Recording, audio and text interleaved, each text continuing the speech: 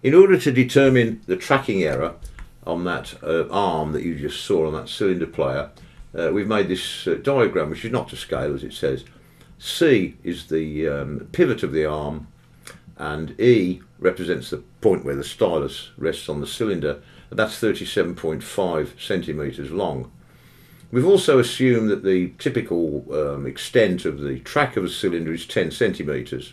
So we're showing here the midpoint, uh, which the arm is at right angles to the cylinder, and the tracking error is zero because um, it's at right angles to the tangent AB, which is the line along which the cylinder would have been cut.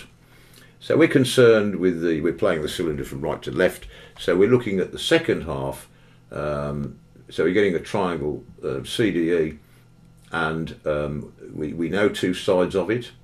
We know that DE is 5 centimetres, and we know that CE is 37.5 centimetres, so H um, is easily obtained and um, comes to a, a 3.3 um, millimetres longer than the arm of 37.5 centimetres. Let's take a closer look at those figures. Here's a close-up uh, where the arc followed by the arm intersects the tangent along which the cylinder was cut. And there's our cylinder track marked out as 10 centimetres long we can see that playing from right to left there is an initial error of 3.3 millimeters which gradually diminishes to zero and then rises again to 3.3 millimeters um, at the end of the cylinder. That's all quite straightforward. But of course we don't actually uh, do this, uh, we actually put the arm a bit forward as you'll now see. Well, of course, what we do is split the difference. Um, I mean, I've split it in half. Uh, there may be a better way of splitting it, I don't know, but uh, we, what, what we now see is quite obvious. When the cylinder begins at B, there is an initial error of 1.65 millimeters, which gradually diminishes to zero, and then rises in the other direction to 1.65 mils. Then as it carries on, it decreases to zero again, and by the end of the cylinder, it's increased to 1.65 millimeters.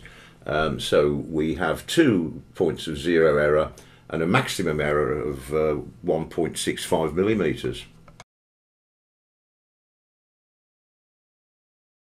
Uh, to sum up, I don't think this tracking error is, is significant, though of course I, I might have been talking about right angle triangles and all that kind of thing, but I'm not really a very technical person, I just like to tinker with things, but I don't think that's a significant uh, tracking error.